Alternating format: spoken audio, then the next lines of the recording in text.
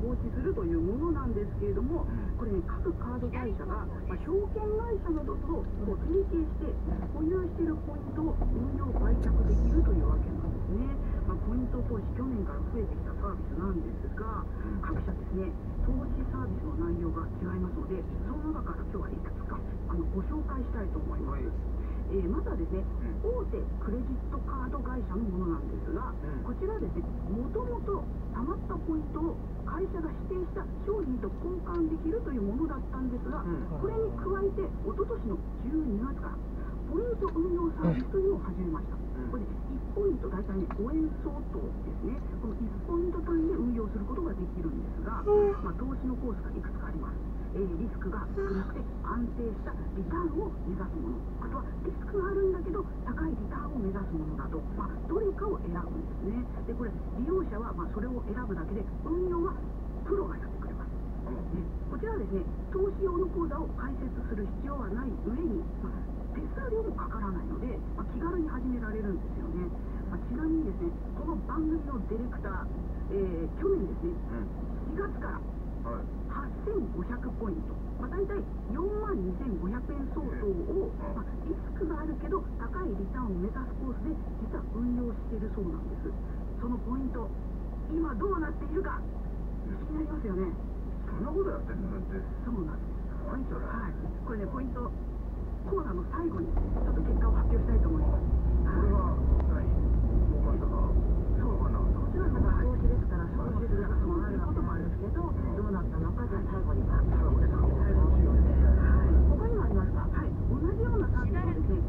震災時のバー今年の5月から